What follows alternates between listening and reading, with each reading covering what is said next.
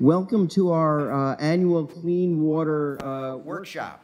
And uh, we are videotaping this so that uh, it'll be available online as well. But uh, we have had since 2015 every year, um, since the Water Infrastructure Improvement Act was created, um, the Environmental Facilities Corporation um, has been uh, generous enough to come down and uh, provide hands-on questions and answers about the program. And our real goal is to encourage Westchester municipalities and, and Hudson Valley municipalities to take advantage of a program that so far has provided $1.8 billion in grants to uh, municipalities for clean water projects uh, uh, amounting to, I think, over 100,000 new jobs created through that in Westchester County. Um, Westchester County municipalities have received over $55 million in grants over the years. So it has been a, a great program, something that was, was uh, needed, and uh, you're here to do the right thing, which is let's get that money to your municipalities. Um, what I'm going to do before we go to the presentations is I'm going to invite some of our sponsors to come and talk about their role in this and what they do. And I'm going to start um, um, with Kevin. Kevin um, Pirano, who is the uh, executive director, is that executive director, executive yeah. director of the Jay Heritage Center, which is our host here. And I'm, I'm going to preface it by saying New York State actually owns 90% of the land on this historic site, and Westchester County owns 10%, and the Jay Center owns um, a chunk also, uh, especially the carriage house and around the mansion. But this is uh, not only an important historic site, this is a, a living not for profit that provides great programming, great educational opportunities, and for the environmental community, they host tremendous environmental uh, programs throughout the year, including ours. And maybe Kevin's going to talk about their beautiful gardens project and, and, and everything else. So, Kevin, thank you so much. And we also have in the back Suzanne Clary, who's the president of the Jay Heritage Center. So let's thank them for hosting us at this beautiful location. thank you so much, Steve. Um, Steve mentioned I'm Kevin Pirino. I'm the executive director here. Suzanne uh, Clary, president of our board, um, is in the back. And um, we are, um, uh, you know, we're a, a, historic site. This site is the, the boyhood home um, of the founding father, John Jay. For those of you who don't know, it's a, haven't been before, it's a 23 acre um, park. but we're also an education center. We do programs in history, preservation, social justice, um, and environmental stewardship, um, importantly.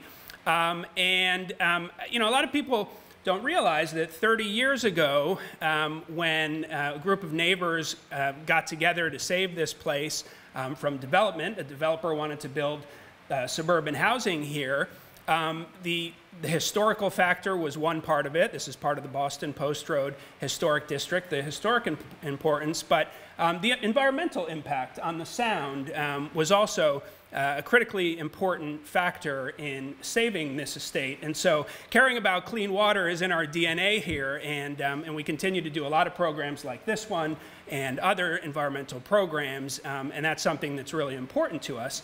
Um, Another thing that's really important to us, and the only way um, that this place could have been saved, um, is our partnerships. Um, we, we rely on our partnerships, and it's an important part of what we do. And so the partnerships with local organizations like Save the Sound and others who are here today, the partnership with um, local legislators um, like Steve and others um, have just been critically important. I mean, we couldn't have, we couldn't have saved uh, this place um, without those um, things.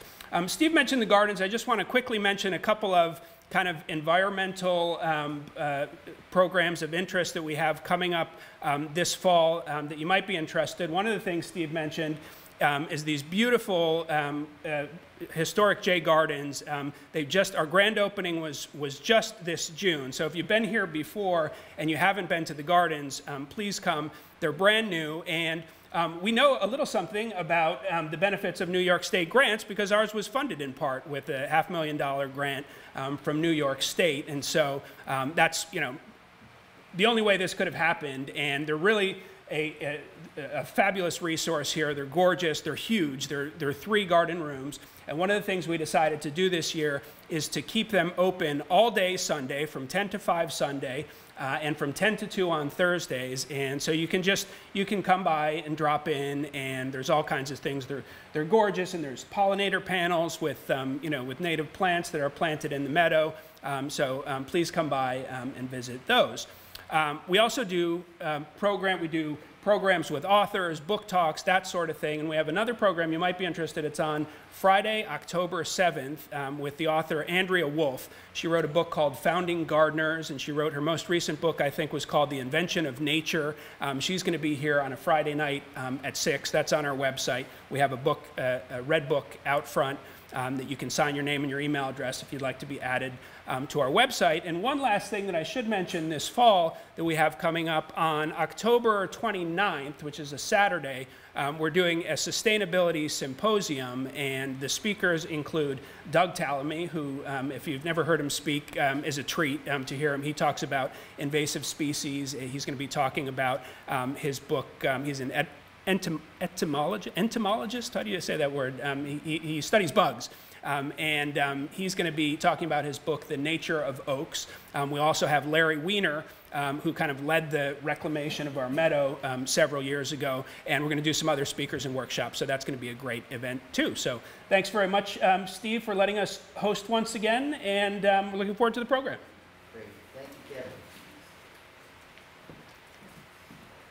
Next, we're going to have up one of our sponsors every year, um, George Trapeau from the uh, Construction Industry Council of Westchester and Hudson Valley. And George, come on up, but uh, they have been a great partner in advocating, the, the construction industry, advocating for these programs and other important in, environmental investments that help mun municipalities. Come around this way and, and uh, uh tell us a little about CIC's good work in this. Well, first I'd like to thank Steve for the uh, fabulous weather that we have today. Uh, you managed to get that heat wave broken, and I truly appreciate it. These are very subjective things. I think it's still too hot. So. Right. uh, so I was chatting with our friends, uh, Save the Sound in the back. Uh, I go back to 1982 with Long Island Sound. Actually, I grew up in Pelham, so uh, I, my beach was Glen Island Casino. And um, the uh, 1982, I started a windsurfing school just uh, on the Playland property to the north. And for three years, uh, we held regattas and we taught windsurfing. And we lived in the Long Island Sound all summer long. And I can tell you it's a different Long Island Sound today, much cleaner, much more pristine than it was back in 1982 when we would fall in the water and encounter uh, civilization. Um, we, when we go around and we talk to uh, uh, community groups and we say, you know, what's the difference between a, a civilized society and an uncivilized society? And it really just boils down to one factor, and that is how we treat our waste. Uncivilized societies did not address their waste, and they were uh, migrant and vagabond, and they, they moved on. Uh, civilized societies treated their waste. In 1982, I became committed because of uh, uh, my involvement in local politics and uh, Suzi Oppenheimer, which is a predecessor of yours, right, uh, got me involved. And then in 1991, I wound up with the uh, Construction Industry Council, and there was a massive protest rally, uh, both by environmentalists and conservationists, and the construction industry, labor unions and contractors, they were at war because one wanted to shut down development and the other one wanted to continue with development.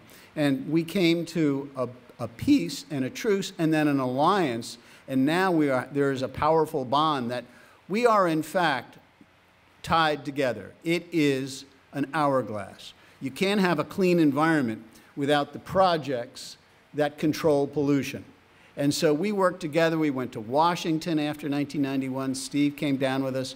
We uh, lobbied for the National Estuaries Bill, billions of dollars brought to uh, communities, and especially Long Island Sound, which we always characterized as, uh, because of its uh, five, six states that um, uh, are exposed to it. Um, it is, we are at the shallow end of a swimming pool, and we don't have a skimmer box here. We have to build our own skimmer box. And so we do that through pollution control. We capture, we treat, we release. And it's been just a joy to work with Steve and go to Albany and get this bill passed and get all the money for clean water and infrastructure renewal. Uh, I will say that the Hudson Valley in Region 3 uh, of uh, DEC uh, is one of the most aggressive in the state for educating the local municipalities about the opportunities. Um, I live in Armonk, New York now. Anybody ever been to Armonk? It's, uh, do I hear Armonk out there? It's an Iroquois word. It means home of pricey Italian restaurants.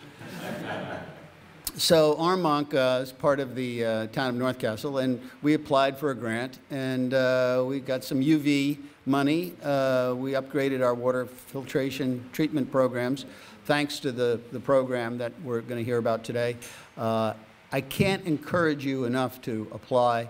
Uh, we had Steve, uh, uh, uh, Paul Feiner here a few years ago. Didn't know about the program, learned about it. He's the dean of supervisors for uh, Westchester County and Greenburgh, and right off the bat, they got three grants. So, I mean, it's wonderful to see these projects go forward. We document these uh, projects throughout the Hudson Valley in a report every year, and we send these out to the municipalities. I've given you a little bit about what CIC does, uh, and I thank you all, and uh, enjoy the program. Thank you, George. I should add that uh, CIC and George and uh, Ross Pepe, who used to be the head of CIC, and John Cooney, who's now the head, they have been big advocates in terms of creating these programs and growing these programs. So uh, we, we thank them. Um, next, I'd like to have uh, Peter Linderoth of Save the Sound come on up and, and say a little about Save the Sound and, and uh, uh, another one of our important sponsors and partners. Thank you. All right. Well, I know Armonk well. I don't know if you're talking about Amore when you were talking about the Italian restaurant, but I have many dinners there. Um, well, thank you. Thank you, Assemblyman Otis. Thank you, Steve, for the introduction. Um, really happy to be here, happy to sponsor this event. Um, but a bigger thank you to you and everyone that's really fought for these funds um, since 2015 and before. Critical funds for clean drinking water, clean waters in our rivers, lakes, estuaries like Long Island Sound, which of course we focus a lot on, the Atlantic Ocean, incredibly critical. So thank you very much. And thank everyone in this room that's worked on that. Um, so as Steve said, my name is Peter Linderoth. I'm the Director of Water Quality at Save the Sound. I work in our Larchmont office, right down the road here in Westchester. Um, we have another office in Connecticut. As our name says, we're Save the Sound. So you probably have a pretty good idea of what we do. Um, maybe to break it down a little bit more, we're here to kind of protect, restore the sound and all the lands that flow into it. Um, and that's a pretty big undertaking. And there's about 35 of us on staff. And I'll tell you, I love working at Save the Sound. My colleagues are outstanding. We have a lot of fun with what we do. Many of us have really deep connections to the sound. Great organization. Um, so protecting and restoring Long Island Sound, though, it's, uh, it could be challenging at times. We see the good, we see the bad, we see the ugly, frankly, in terms of water quality. I'm going to focus mostly on water quality. Um, and we are definitely solutions based. So we have environmental scientists like myself, my team. Um, we have engineers. Um, we have advocates, lobbyists, attorneys. You know, we do have attorneys. We'll go that route now and then as well. Um, and communication specialists like David back there snapping pictures of me. And thank God for a communication specialist because if you give me the opportunity to write on science topics, I write on them. And they break that stuff down and it's great. Um, so as I was saying, though, we're very solutions oriented. We're not doom and gloom. I've never been a doom and gloom person myself. I like to stay optimistic on challenges, work towards them. And these clean water infrastructure grant funds are a huge solution to, to pollution and problems that we have in our watershed and in the sound.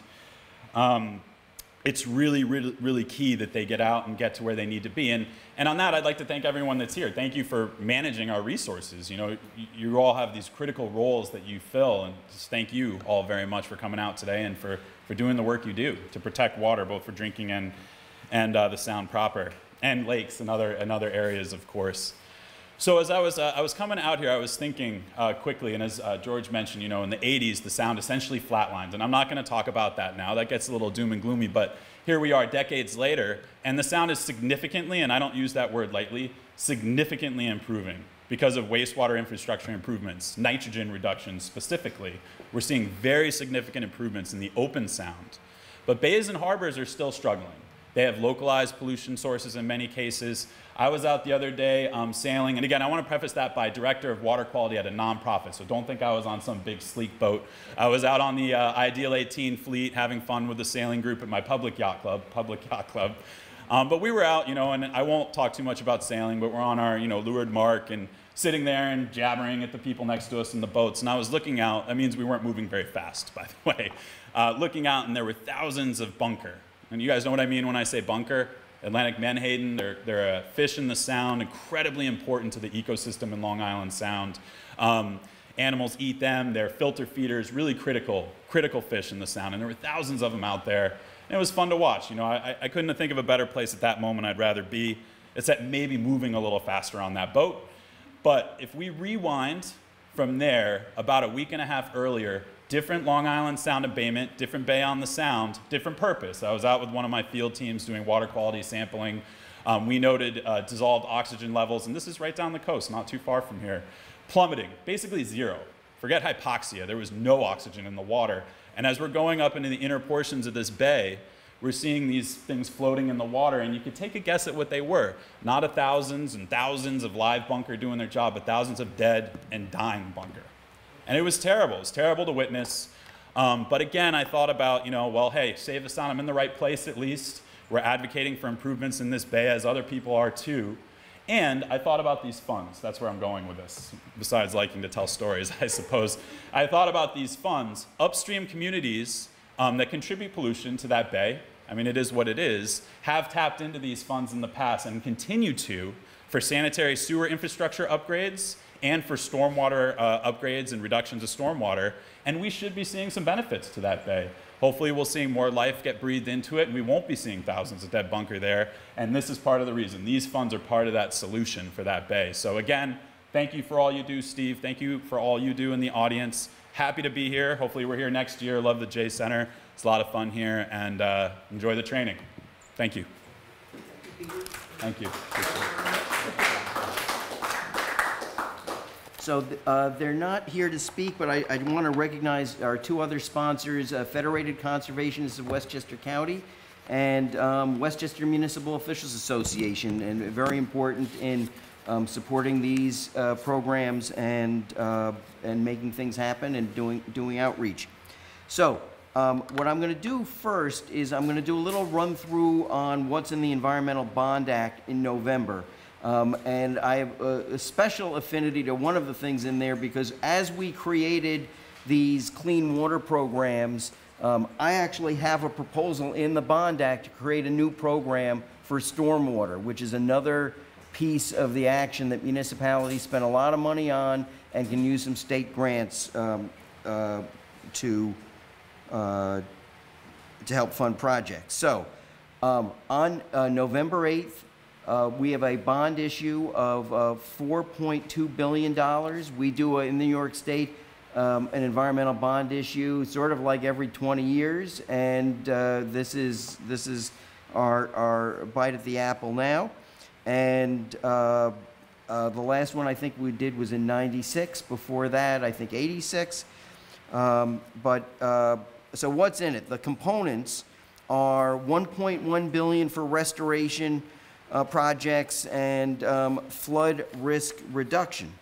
And so key in that, and there, is, there was a handout out front that has these specifics, but uh, something that we had actually a program here a few months ago on shoreline restoration uh, using uh, natural kinds of uh, thinking in terms of how to uh, do shoreline projects. And uh, this is the shoreline that you're looking at right here is over behind Playland um, before the Edith Read Sanctuary.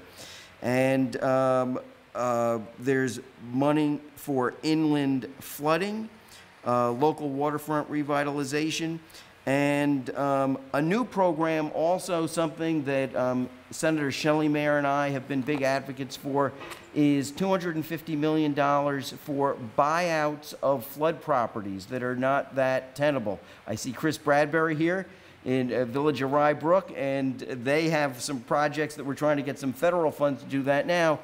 but there's not a real state program to do that. We are, hopefully with this bond act, creating a, uh, a, a- a state funding stream where you have a flood-prone property that really is just untenable and the, the people want out and, and we want to put some money on the table to make those transactions happen. We are doing it um, in at least Rye Brook with um, a federal agency, uh, the uh, uh, Natural Resources Conservation Service, which is out of the uh, Department of Agriculture, and doing a, uh, hopefully some buyouts in Rye Brook along Blind Brook. We're going to have a state program.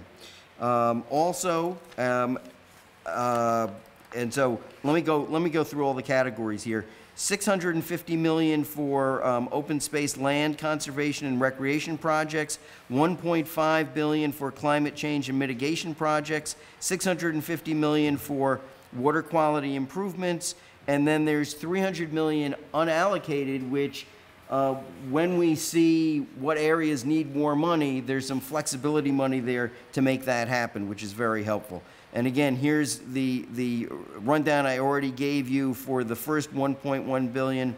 Um, also some habitat restoration, um, um, again, other kinds of, of flood infrastructure projects and culverts and, and all sorts of sexy things like that. Only sexy to the municipal people and engineers that are in this audience. The, the rest of the world would not get so excited. 650 million for open space conservation recreation projects. Uh, that's a beautiful vista of the Adirondacks and uh, um, um, some adorable dogs uh, from a different era of uh, uh, ours. Uh, that is Dudley, a Labrador Retriever, and Lucky, a, a, ter- a rat terrier, as they say, go underground. Open space, farmland protection, fish hatcheries.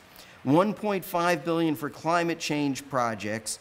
Um, we don't have school district people here, but 500 million is for um, uh, energy, uh, uh, electric school buses, green buildings, renewable heating and cooling, um, uh, disadvantaged communities, climate adaptation. Um, I expect that some of these projects are going to be projects that municipalities are going to be able to take uh, a, a, a piece of for the kinds of projects that you do. Um, 650 million for water quality improvement projects. Um, new funding for the programs we're discussing today, the WIA and IMG programs, and then a new, um, as I said, uh, new state municipal um, program for stormwater. And um, that, what I am so excited about is to get that on the table. Been pushing for that for a number of years. You also have um, sewer line replacement, lead, lead uh, service line replacement, um, algae, all that sort of uh, good stuff. Um, Again, that's on the ballot on November 8th. Now, I am going to move to the next presentation, if I can find it, and God only knows. Um, who- Is Kevin still in the house? Maybe not. Let's see. Okay, here we go.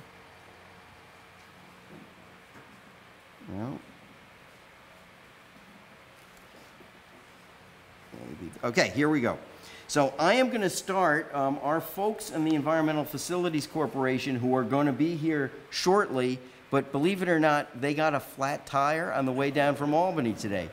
So my next workshop is going to be on um, tire resilience for governmental vehicles. We don't know whether this is a, a failing in the pothole system on the Taconic State Parkway or whether OGS did not maintain the tires on these vehicles uh, to appropriate tread length. But they will be here, and really the most important thing that they can provide is to answer your specific questions that you may have about applications that you uh, are contemplating or have pending. And, and so uh, they will be here in a little bit. So I am going to do their presentation, and um, which I have not planned on doing. So we'll see how we go. Um, okay, EFC overview, uh, grant program introduction. We'll just move right on here, and what we'll do EFC. Um, and I think you already know this. EFC is really the state agency that administers um, for uh, many decades, the state revolving loan fund, and now with the creation of these grant programs, a series of grant programs that are often matched with the revolving loan fund. New York State EFC, and with the backing of the, the governor and the legislature, um, we have the strongest clean water programs in the country. And when you speak to the folks at EFC, when they go to um, national conferences, uh, the other states are saying, "How are you doing this? How, how are you going about it?" it and uh, very, very positive. Okay, they provide um, uh, financial assistance through local. I figured it out, Kevin. I think I got, I got, I got their presentation. But thank you. It was al- almost a, almost a des. Oh, the, oh, we're gonna. Oh, well, may, maybe Kevin, come back here. I'm looking. I, I thought you would. See, okay, how do I get this on the screen? Yep. Just go, this is the one you want? Yeah. View, presenter view, There you go. Okay. pause it, and you're golden. Okay, thank you very much. Thank you, Chris. Okay, so we've seen that, we've seen this, we're gonna go through here, we're gonna go through here. Um, okay. So, um, I mentioned, uh, oh, so then they do, obviously, EFC does uh, what they call clean water, but that's basically sanitary sewer, uh, those kinds of systems, and drinking water. And um, EFC, they're basically partnered with New York State uh, DEC and the Department of Health are, are uh, leaders on their, their board. Um, and they do a number of uh, smaller programs that some of you may have applied for, like the um, uh, Green Infrastructure Innovate, Innovation Grants. Some of those have come to Westchester uh, communities. And um, there you have the numbers on uh, what they've given, mostly with a revolving loan fund over, uh, over a longer period of time. We'll move on. Let's see. Okay, now. There we go. Um, so they, the way they work this, as, and I think you're probably aware of this, um, they have the loan portion of the project. They have uh, the, uh, depending upon your application, there are some categories, if you have a certain level of need, where you can get a uh, no-interest loan or a low-interest loan from EFC, and you should, uh, you know, uh, uh, hit for the fences and see if you can qualify for that no interest. But the low interest is generally less than what you can get on the open market. Although if you're, in some years, if you're a AAA community, uh, you know, you can do pretty well on your own. And uh, uh, as it says in the second bullet, these were then matched with the Water Infrastructure Improvement Act grants, the IMG grants, and one of the things that we found after we created the program in 2015 is EFC found many communities that had never come to them for the revolving loan fund grants because they could not afford to do it even with the low interest or no interest. Where now, because they get a piece of the action through the grant program, they were doing the combination of the revolving loan fund funding and, and the grants. Um, and uh, but as they say in bullet three, you don't have to um, use EFC for the outside financing.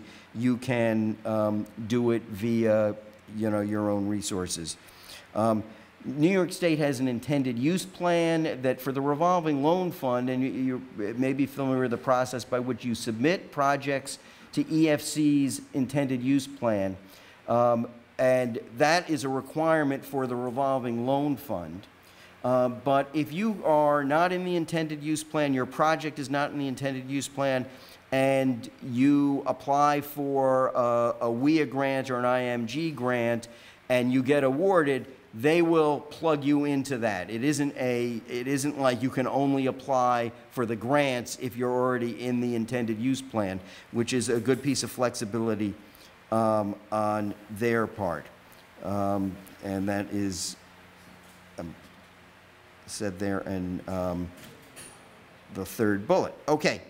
Um, The uh, uh, 4.5 billion since 2017 is the commitment thr- through uh, all the clean water programs of New York State.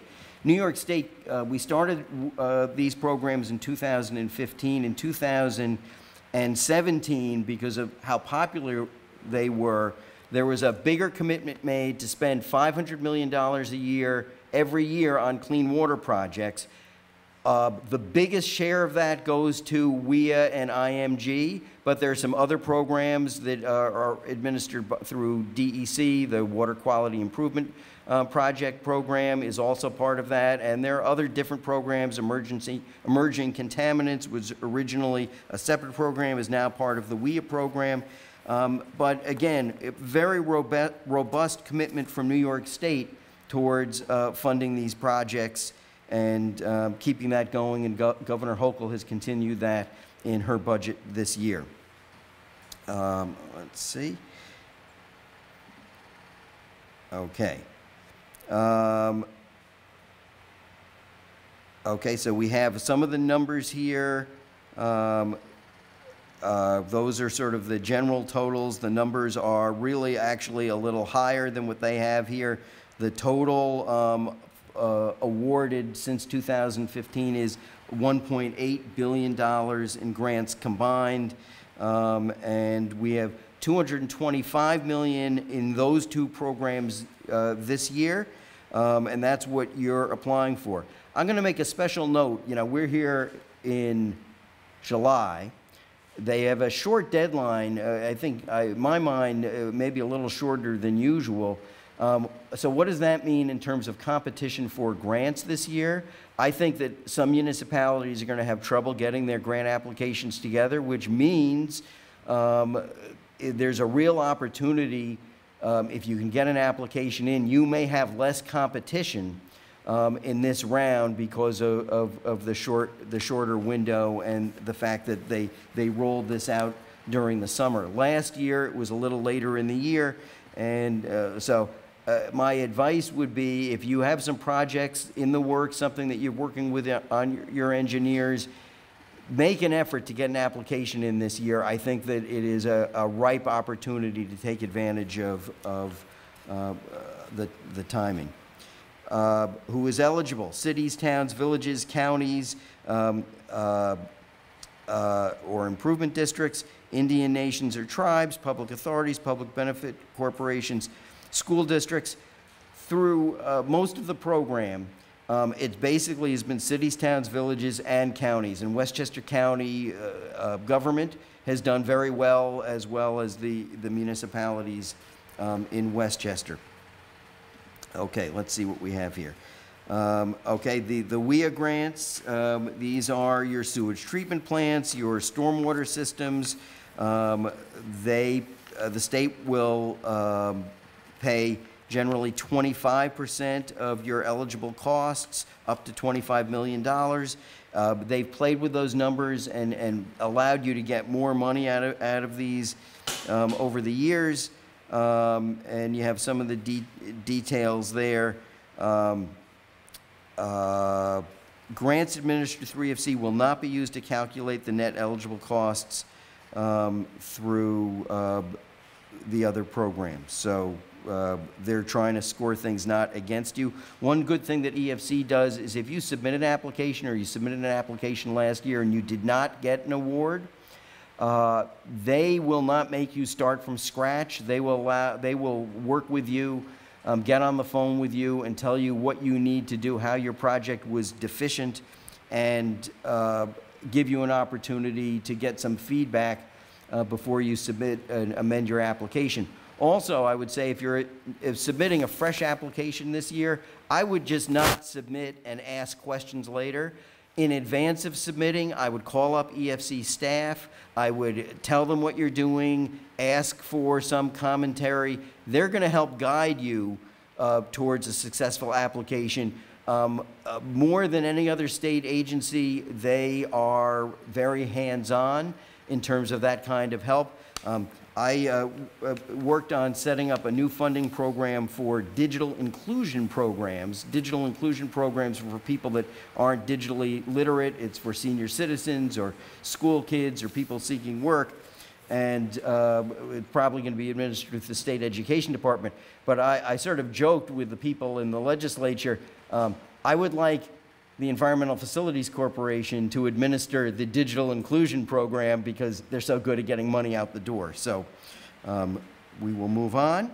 Um, you get a little math here in terms of um, how they calculate the project costs based upon their formula, the 25%. All makes sense. We will move on. The drinking water grants, now on these, they will pay 60% of your project costs um, up to a, a $5 million total. Uh, but 60% is pretty good. And we've added the emerging, emerging contaminants um, component to this, this uh, uh, to the WIIA program. Um, emerging contaminants is an issue in some Westchester communities, not as much as some of the places upstate eh, with more of an industrial history or uh, on Long Island, but um, you should look at that if, if that is going on um, in uh, your community, you may be eligible for some of that. I'd also say that one of the things in the 2021 round that EFC did is in addition to the original amount that we had in the state budget to fund these grants, um, EFC and uh, DEC took some of the federal money and basically just supplemented the grants, backfilled, and gave even greater funding than, than we had um, promised in our state budget. Um, and now you have here sort of, again, that uh, the drinking water component with the 60% math. Um, eligibility uh, criteria. Um, water quality improvement projects at municipally owned sewage treatment plants and works, public water systems, construction, replacement, repair of infrastructure, compliance with uh, federal or state environmental public health laws and regulations. One of the things when we created the program, if you're being sued, um, and you may be if you're a municipality, comes with the territory, if you're being um, uh, suffering an enforcement action from DEC, EPA, um, or uh, uh, our partner, Save the Sound, who uh, tries to put the uh, pressure on everybody to do a good job.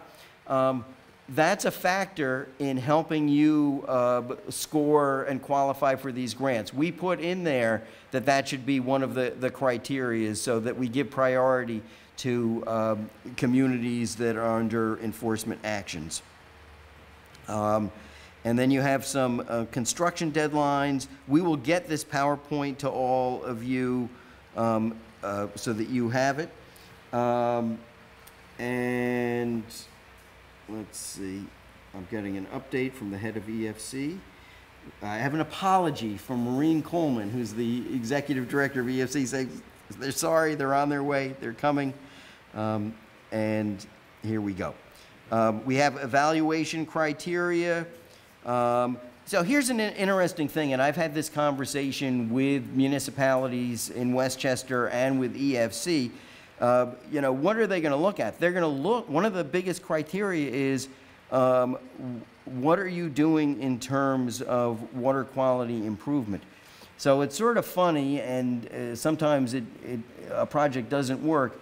If you are, have a project that's preventing something, but there's nothing bad happening, you, you probably have a little, you probably lose out in competition to a community that, that something is already broken and, and creating um, a, an issue. And I've had the conversation with the EFC, want them to, you know, take a, a, a second look at some of those projects, but uh, there are other programs as well.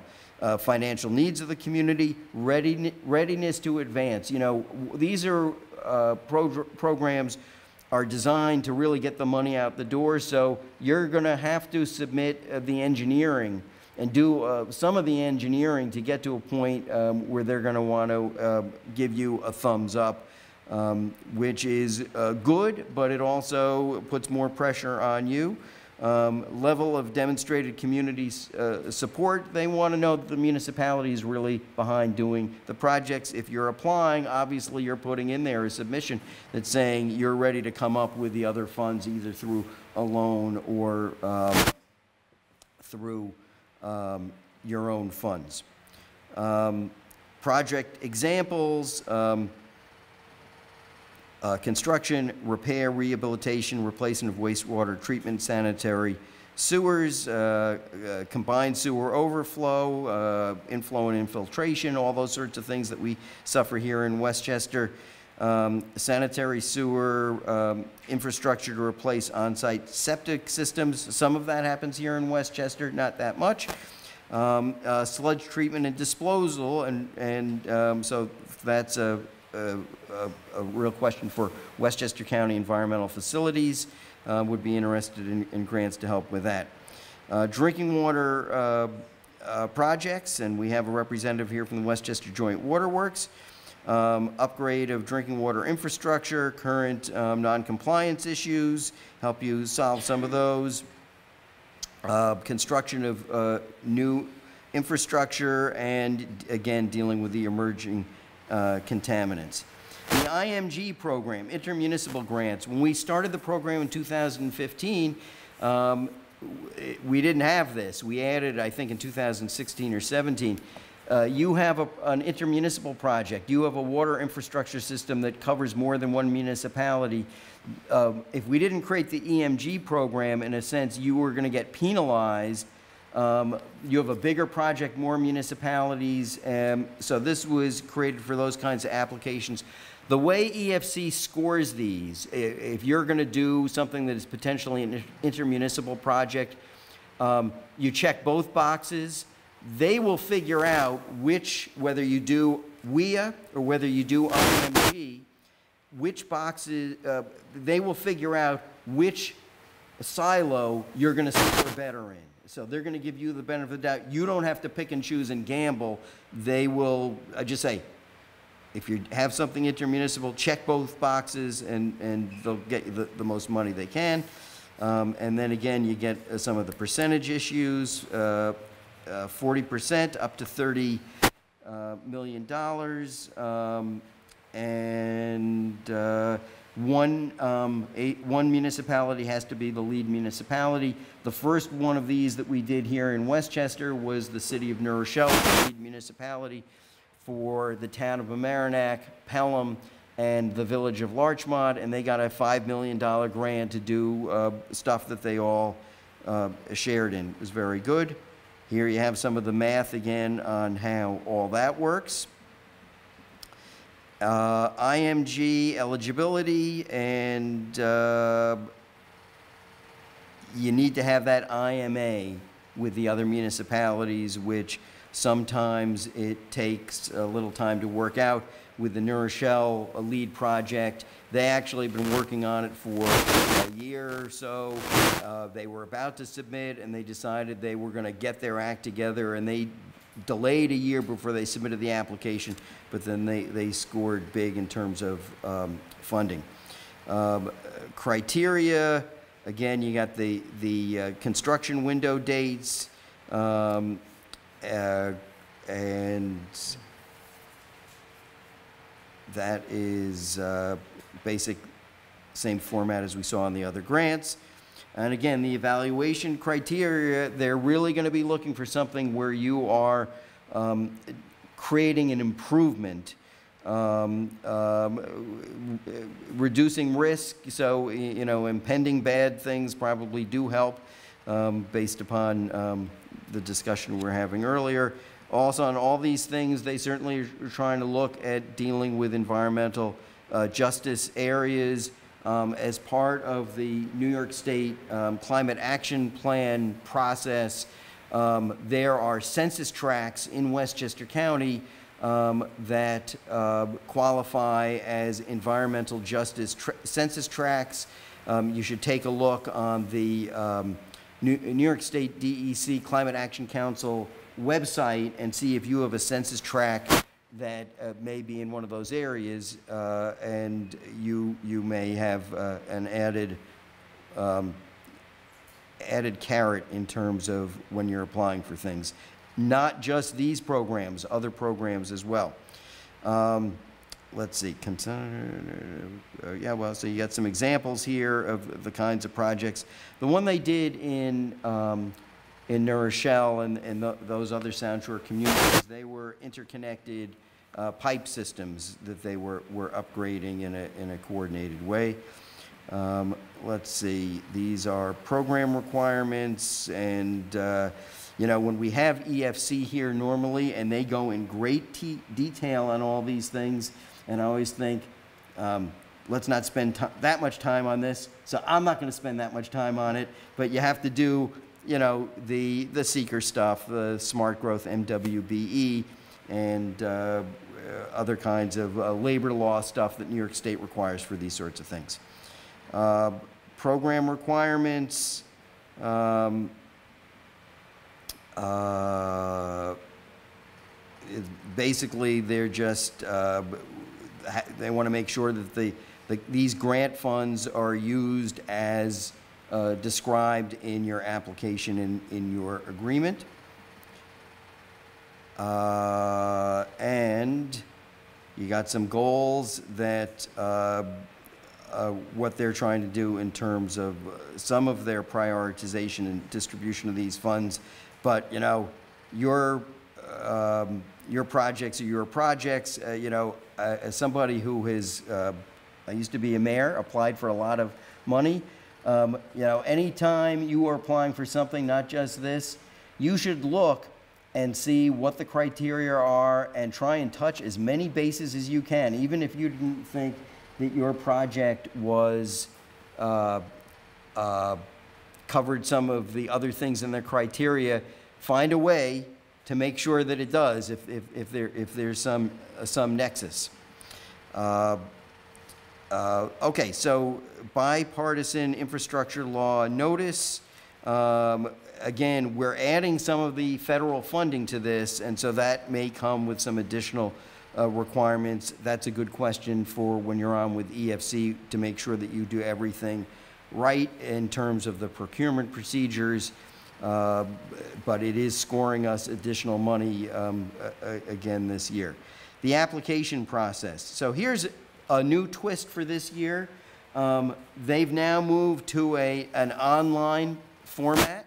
And so uh, I'd be interested in, you- when you apply, how that works for you, good, bad, and ugly-. Let me know. I speak to EFC.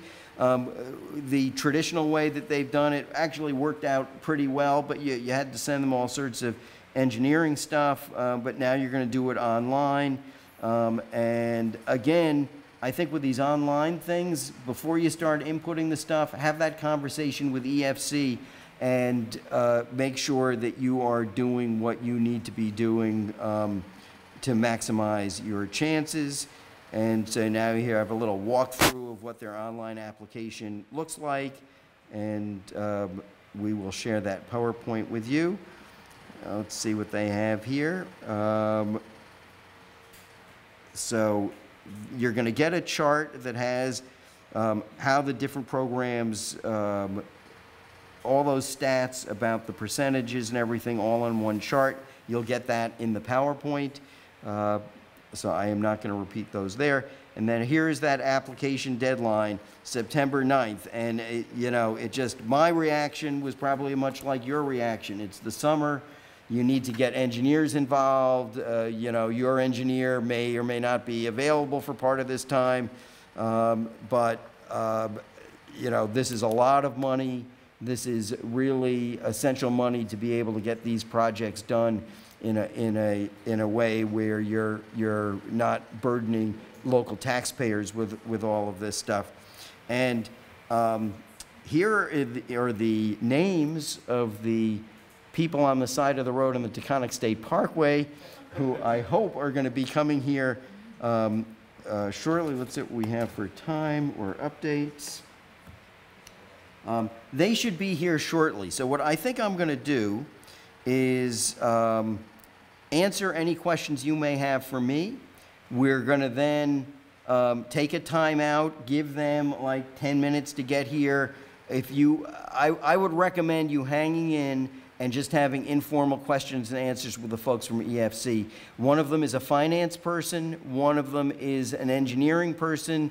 They're going to be able to speak your language, and, and uh, the real benefit of um, your being here is to have that interaction with them, and um, we will all be questioning them about the um, mishap on the roadway and have their sympathies. And uh, uh, as someone who had a flat tire a couple of months ago uh, and had to get towed by AAA, not fun.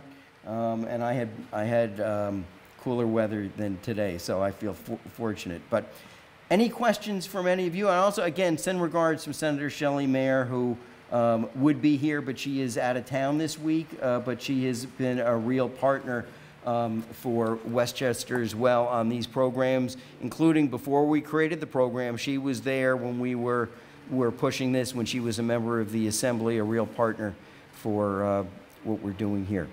So, questions um, until we have a timeout, George. Yeah, just to follow up on the Bond Act that you started with, uh, it's probably more in your uh, wheelhouse because uh, as the Assembly, you voted in favor of it for the budget. So I did some homework and I found that in the last 10 Bond Acts since the beginning of the 20th century, they all passed. And they all passed by about 10% margin. Um, Some more. This one, however, runs into the headwind of all that pandemic relief funding that has been uh, pushed through the economy, uh, the bipartisan infrastructure bill that is now law and uh, is also going to carry more debt. Is there a sense that the voters may be tired of debt, debt fatigue, and this has less of a chance of uh, uh, being approved? And if so, should we, be- we be doing an education vote yes campaign for it? Well, there is a Vote Yes campaign getting going, and, and so we should talk about that. It's an interesting question. I mean, um, I was reading Paul Krugman's column the other day about inflation, and, and um, had I known you were going to ask that question, I would have tried to get Paul Krugman to be here as part of our panel. But, um, but uh, you know, I, I would say this that uh, this bond act has been proposed, was originally supposed to be in uh, 2020, and because of the pandemic, we postponed it. Um, the funding items in here are so essential, and I, I think that the, the first thing I would lead off on is if I'm a municipality and I know what is on the project list, uh, I have I get scared thinking of what it looks like if the Bond Act does not pass and how we're going to pay for a lot of things that we really need to do.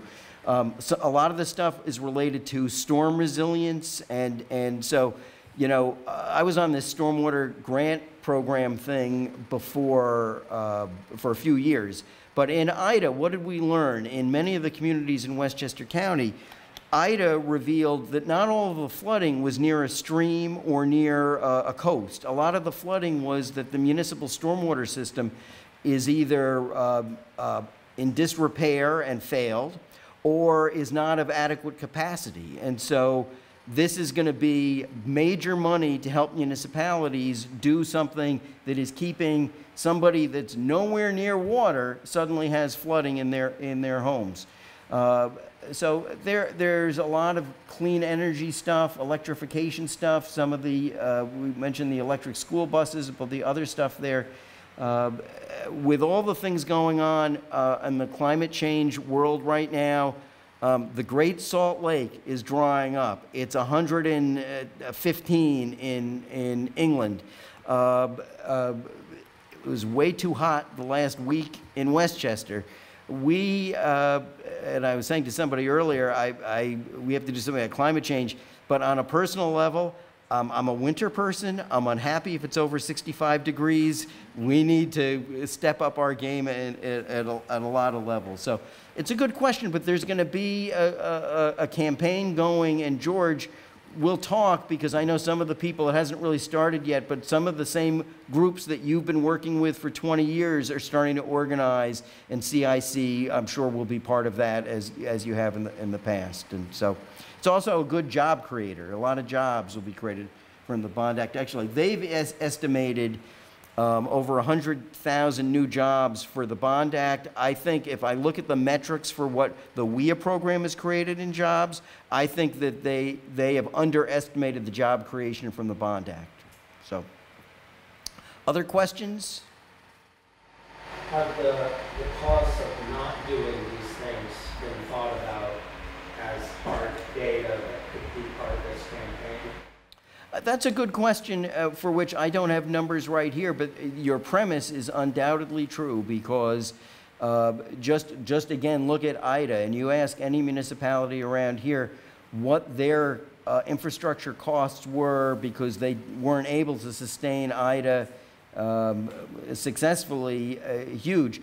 In 2007, when we had uh, storms, uh, we had two storms in 2007, um, I was mayor of the city of Rye then. Our estimated cost of the damage of those storms for just little city of Rye was $80 million. So there is no doubt that resilience is a, a key part of um, cost saving um, uh, for the taxpayers, but it's also saving lives. It's also, uh, you know, public health, uh, just a, a lot of, a, a lot of mishap. There are people that were displaced in Ida that are not back in their homes. I think politically, you could make the case to, uh, for the public to also understand risk preparedness. Yep. These are predictable risks. Yep, I think that's great, and I will pass that on.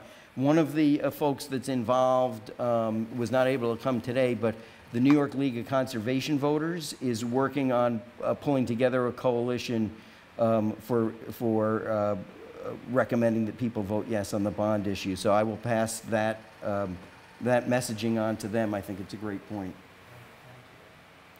In the back there. Steve, Can I actually just dovetail off that? There actually is an ongoing Vote Yes campaign group.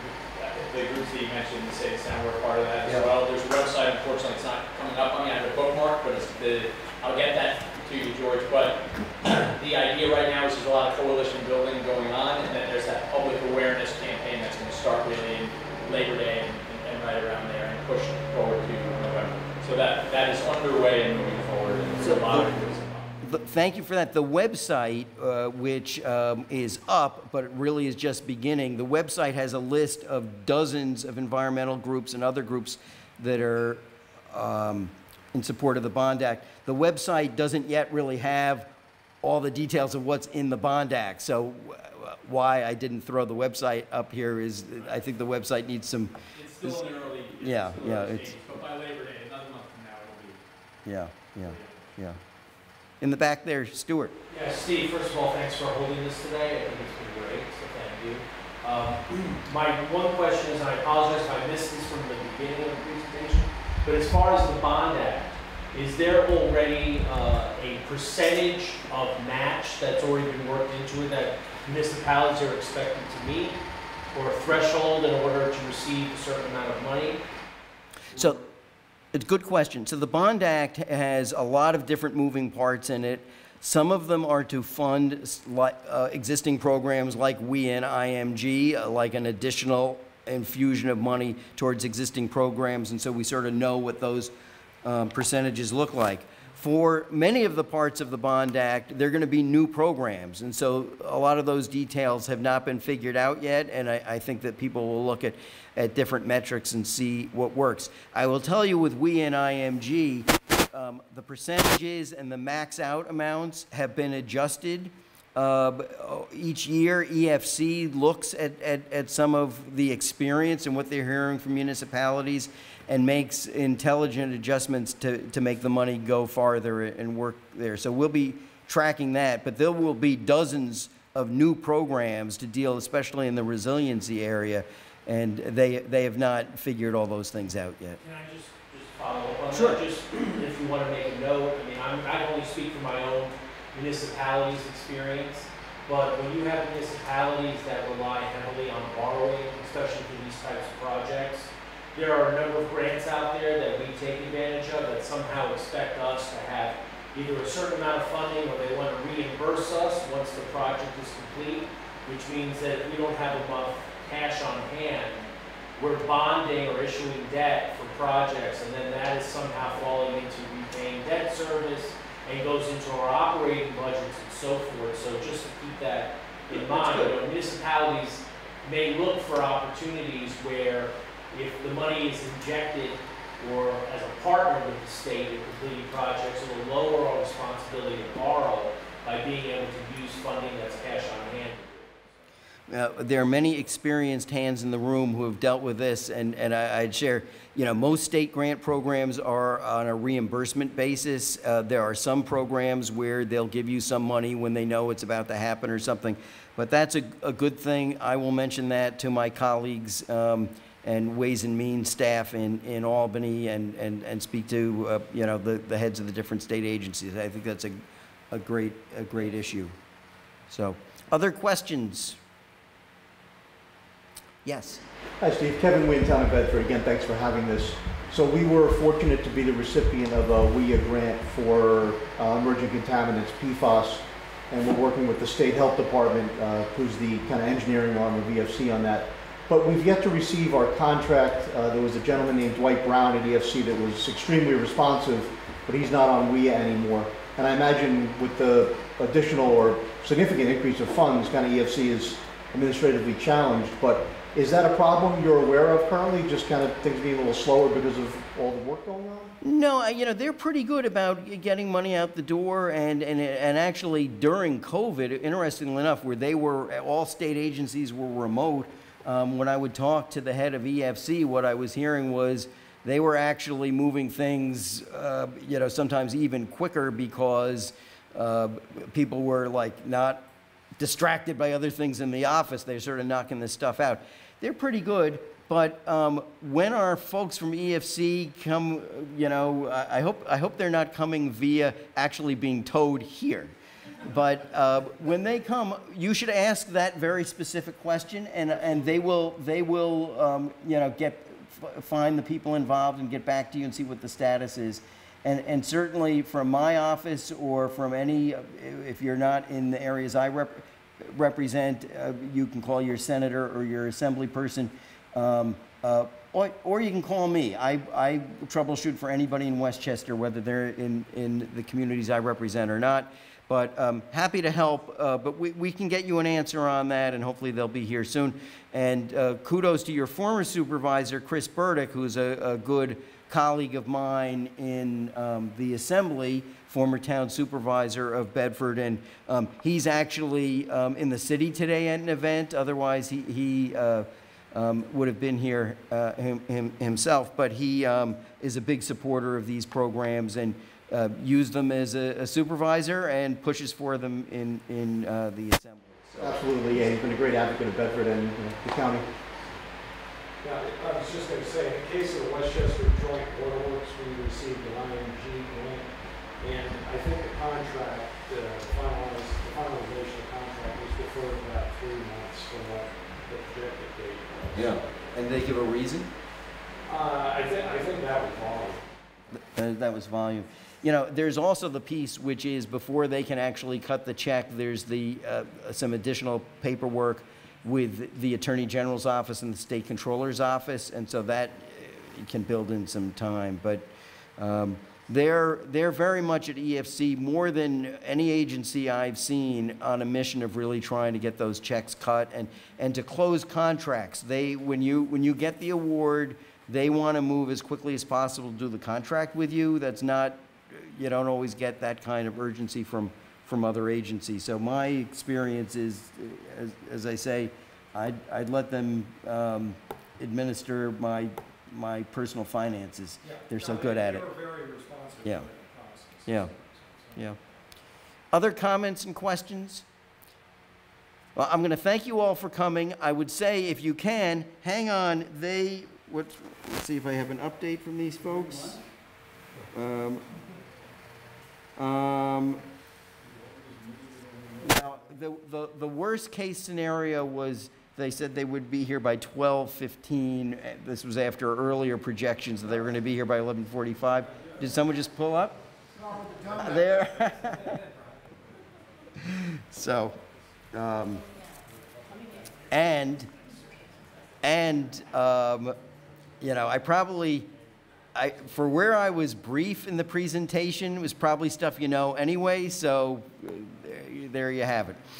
But, Any uh, BCR, the benefit cost ratio, is that a requirement for these programs? Uh, not in the same way they do it with FEMA. I think that they're more looking towards um, um, uh, uh, water quality improvement is the biggest a biggest factor. So let- let me, um, hold on for one second. So we're going to start up again. And uh, I'm going to introduce our, our weary travelers. We have Caitlin Penner, who's the Deputy Director of EFC's Engineering Division. She is a professional engineer. Um, and uh, uh, we have some engineers in the audience. Um, and we have um, Aaron Gagne, who is EFC's um, uh, financial ana- analyst in EFC's finance division. And so they're here to answer your questions, but I first want to answer the question um, in terms of um, fault for the flat tire. Do you think we're looking at a, a OGS didn't keep their tires correctly uh, in shape, or uh, the Thruway Authority didn't fix a pothole quickly enough? we're not placing any blame on anybody. We're not entirely sure where the mishap occurred. So what I'm going to ask, one of the two of you come up here and take the microphone and just take questions from folks up here. And and and and uh, thank you so much for persevering and not turning back. You know, and, and, and, uh, tell, introduce which yes, one of you. I'm is which. Caitlin. Hi, nice to meet everyone. I actually recognize some faces. I worked on uh, Westchester projects for 14 years before I became the deputy director, so lots of uh, work down in this area. I believe you were the mayor of Rye when Yep, I uh, yep. started working on the. Westchester project. Well, Thank, thank you for all the help. I'm a big fan of EFC, and so, uh, you know, we have two really dedicated professionals here to answer your questions that are specific to your community. So the floor is yours, and why don't we just, um, do you want to start with your question? Sure, thank you. Go. Hi, my name is Kevin Wynn. I work for the town of Bedford, and we're really grateful to be the recipient of a WIIA uh, program for PFAS mitigation. Uh, I- Dwight Brown is the gentleman I've been dealing with a lot through the process, extremely responsive, but I guess he's no longer involved with WIIA. And I'm trying to work towards getting uh, contract documents and kind of finalize things. So I didn't uh, know the exact time frame for that. We get the award letter in May, I believe. So, um, if you can get your documents in, we are working on, uh, reviewing those applications from the last round that was awarded, and we should be getting out missing items letters shortly to identify any additional items that were missing for those projects. Okay, but should we have received contracts at this point, or no? Con, so, yeah, go ahead. Um, so the initial award, um, that's the award offer letter, but there is, you know, a lot of back and forth that needs to happen between EFC and the municipalities before there's actually a, a grant agreement. So, um, the missing items letters that, um, Caitlin referenced, those will be coming out. They typically come from the finance division, so the financial analyst will be reaching out with those letters and it lists, you know, everything that we need in order to close on this grant agreement.